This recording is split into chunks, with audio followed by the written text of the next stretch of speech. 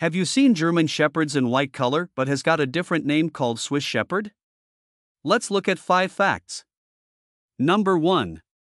The Swiss Shepherd, also called the White Swiss Shepherd dog or Berger Blanc Suisse, is originally a strain of the German Shepherd dog. Number 2. Swiss Shepherds are good family dogs and intelligent. Number 3. They need plenty of exercises. Number 4. They shed a lot, almost throughout the year. Number 5. Females are shorter and weigh lesser compared to males.